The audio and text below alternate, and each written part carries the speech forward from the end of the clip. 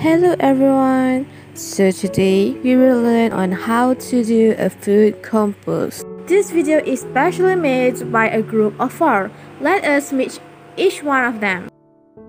Now I'm Rashasha bint Ahmad Sham. Nur Ana binti Abdul Aziz. Ira Sharmimi binti Mark Nordin. Shazana binti Azmi. Alright everyone, before we do a food composting, let us know what is compost. Compost is a mixture of ingredients used to fertilize and improve soil. Compost is commonly prepared by composting plant and food waste, recycling the organic materials so that the mixture is rich in plant nutrients and beneficial organisms. Compost is decomposed organic material such as leaves, grass clippings, and kitchen waste. It provides many essential nutrients for plant growth and therefore is often used as fertilizer. Compost also improves soil structure so that soil can easily hold correct amount of moisture, nutrients, and air. There are many benefits of using compost. First, it builds good soil structure. Second, the soil is unable to retain nutrients, water, and air. Also, protects against drought. Third, it helps to maintain a neutral pH soil. Fourth, it protects plants from many diseases commonly found in garden. Fifth, it feeds earthworms and other microbial life in the soil. You already know what is the benefits of food waste composting, but do you know why it is very important to do a composting? Let us watch this video.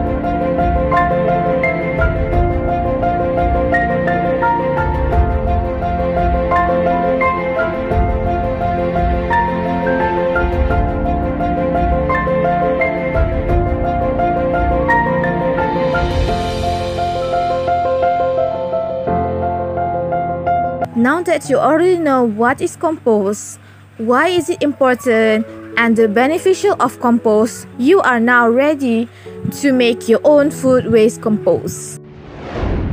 So, let's see what are the materials and apparatus that we will use to make our own food compost.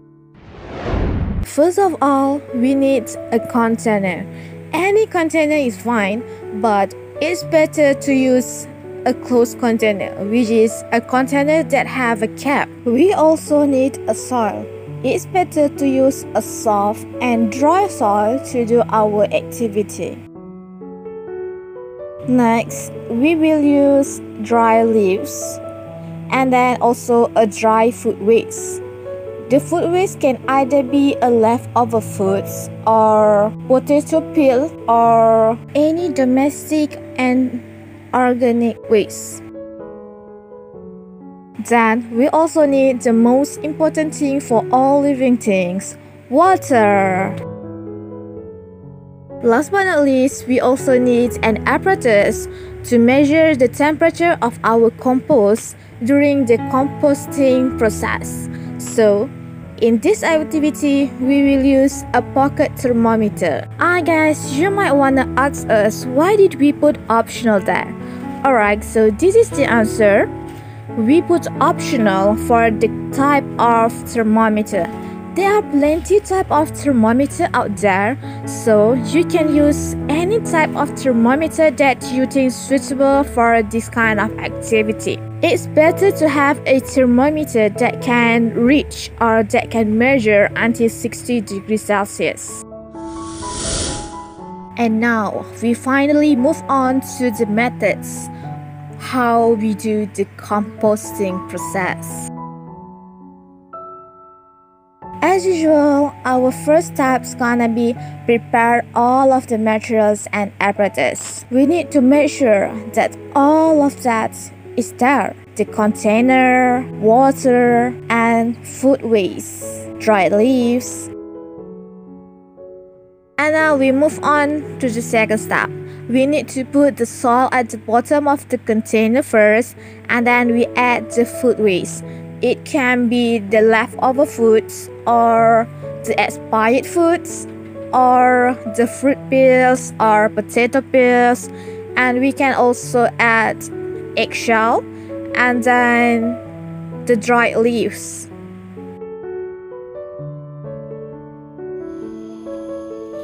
The third step is actually very simple. We just need to put another layer of soil on top of the food waste. All over the food waste, okay? Cover it. For the fourth step, we need to spray or watering the soil with water. Just a little amount of water, don't overwater it because it will affect the result. After you're done watering it, you need to mix all of the materials together, the soil, the food waste, and also the leaves. Mix all of that together, put the lid on, and then leave it aside. Last but not least, we need to take a temperature of the compost and we need to do that every day. We suggest you to do it twice or thrice and then take note of the temperature every day. Oh yes, and don't forget to repeat step 4 and step 5 every day, which are spraying the compost, mix it up, and take the temperature. And also don't forget to close on the lid. After a week to two weeks, if your compost have a moldy texture, like a white thing on it, and have a lava, then you are in a right track. Keep going and keep repeating the process. Repeat step 4 and step 5 every day and you will get a perfect result. And this is the final result. This is what we get after 40 days. I hope that you will get the same result as the what we get. Alright guys, so that's all. That's all the steps. It is an easy step and can be performed by all ages. I hope that you can watch our video and do your own food waste composting. Good luck everyone. I hope that you will be success in doing it because you know it is as easy as ABC. As I said before, you can use any kind of materials, any kind of organic compost. You can either use the expired food or the leftover food from your home. It is using a domestic waste so it is easy to get and the steps are not that hard. Even the child the primary school students can do it. Alright guys so For closing, the ending of my words, I, representing my teams, we want to thank you. Thanks to watching our video and also we hope that our video can give you a knowledge about food waste composting and you can do your own food waste composting later. Good luck on that and we hope to see you guys later. See you guys again on the next video. Goodbye, good luck, stay safe everyone